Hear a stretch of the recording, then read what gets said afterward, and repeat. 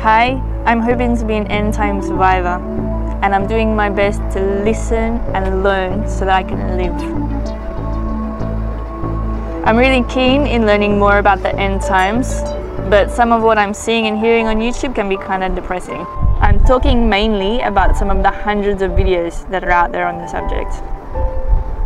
I like the ones with practical survival tips because on the whole they teach skills that are useful in any kind of disaster or emergency situation. And I think they're good skills to know. They're worth learning. It's mostly the thousands of videos that talk about the Antichrist, Mark of the Beast and other Bible prophecy type stuff.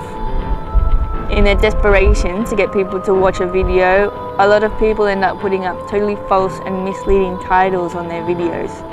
The latest one being that Jesus is going to return the 30th of August 2016. So far, I've not been able to find any explanation for the setting of that particular date.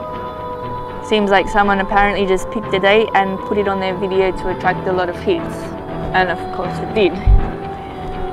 People end up doing that because they want their video to be popular more than they actually want to communicate anything truthful or significant.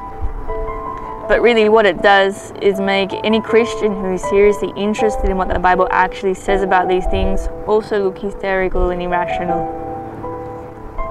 I seriously think that Jesus is going to return and I'm convinced that the microchip implant is at least a forerunner to the mark of the beast, if not the real thing. There are also a few other things that I'm looking for, like plans to rebuild the Jewish temple in Jerusalem. But this idea of taking every little bit of new technology, every disaster, terrorist attack, political election, or military skirmish, and turning it into some supposedly earth shaking evidence that Jesus is going to come tomorrow or August 30, well, it just becomes embarrassing. And I don't really want to be associated with that kind of thing. I think we work against ourselves when we get carried away with that kind of thing. However, having said that, I realize that me making a video right now does kind of put me in that kind of mold. But here's what I want to say personally. I'm genuinely interested and hoping to meet others who are looking for Jesus to return and who can see some of these more major signs that the mark, the Antichrist and the tribulation are not far off. I definitely don't want to jump on a bandwagon about some supposed expert of the Bible who's supposed to work it all out for us. I think Jesus has the answers and that he's wanting his true followers to at least be moving gradually closer together as a form of encouragement to one another. It's following the Lamb, kind of like what Brother Dave is saying on the Survivors videos.